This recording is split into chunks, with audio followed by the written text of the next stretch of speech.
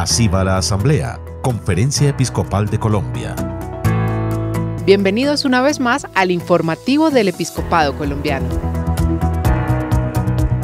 Avanza la versión número 103 de la Asamblea Plenaria de los Obispos de nuestro país y en el tercer día los prelados continuaron compartiendo experiencias regionales relacionadas con la dimensión social de la evangelización y por provincias definiendo criterios para la acción dentro de una pastoral social estructurada, orgánica e integral.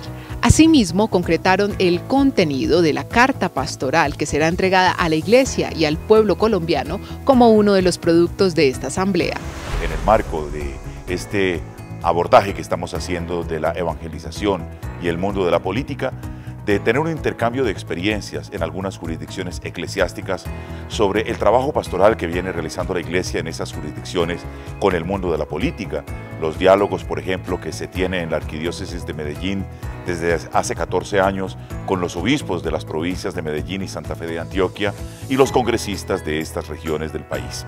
También la experiencia del trabajo y de la defensa de la ética de lo público en la diócesis de Río Hacha y la experiencia a lo largo de su ministerio sacerdotal y episcopal del arzobispo de Popayán, Monseñor Luis José Rueda Aparicio. Uno de los hechos más emotivos de esa jornada fue poder hacer desde muy temprano un reconocimiento a Monseñor José de Jesús Pimiento, considerado el obispo más veterano del mundo y el cardenal con mayor edad, con motivo de sus 100 años de vida, de los cuales 77 ha entregado al servicio de la Iglesia Católica en Colombia. Ha compartido en la Eucaristía con nosotros la acción de gracias a Dios por su larga vida, no solamente en lo que se refiere a su existencia natural, sino también a esos dones maravillosos que Dios le ha regalado, particularmente el ministerio sacerdotal y episcopal. Hablamos con él sobre algunos temas relacionados con su cumpleaños, su vida, su servicio a la iglesia y el deber y la responsabilidad del cristiano en la incidencia política. Compartimos con ustedes algunas de esas reflexiones y mensajes de Monseñor Pimienta. Muy agradecido con Dios y con aquí con la conferencia episcopal porque me recuerdan la deuda con Dios de la vida. La vida es una maravilla desafortunadamente uno no sabe apreciar suficientemente y no lo sabe manejar con, con la acierto y provecho necesarios. Pero es un don porque es participar la misma vida de Dios.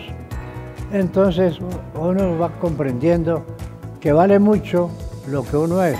Me di cuenta a tiempo de que quería ser sacerdote, pero no entendía bien que era que Dios me estaba llamando por, su cuenta y riesgo.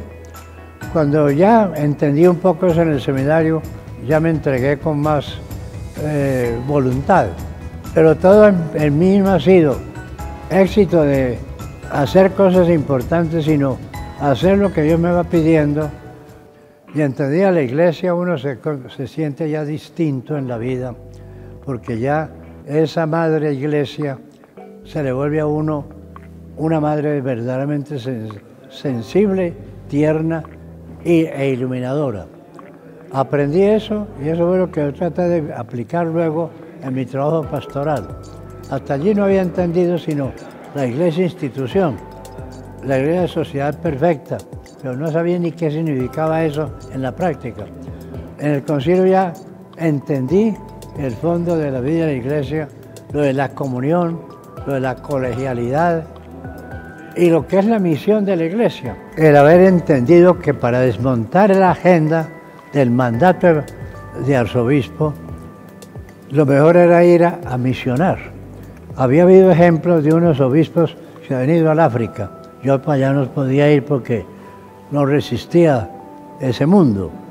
Entonces me fui a una tierra dura de Colombia y Urabá era muy duro en ese momento.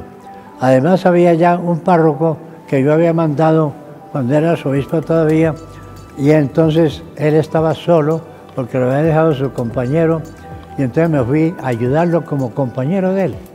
Eso me desmontó la agenda episcopal, no me sentí ya con derecho estar mandando ni dando órdenes ni nada, sino simplemente orando, ayudando al, al párroco, haciendo una labor pastoral humilde y sencilla como si fuera un ayudante.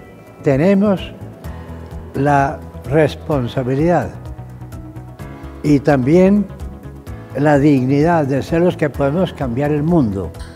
Nos propongamos cambiarlo y que nos propongamos que todos tenemos que dar una contribución seria con los talentos que uno tenga, con los bienes que uno tenga, con las posibilidades que uno tenga, contribuir al bien público, al bien común.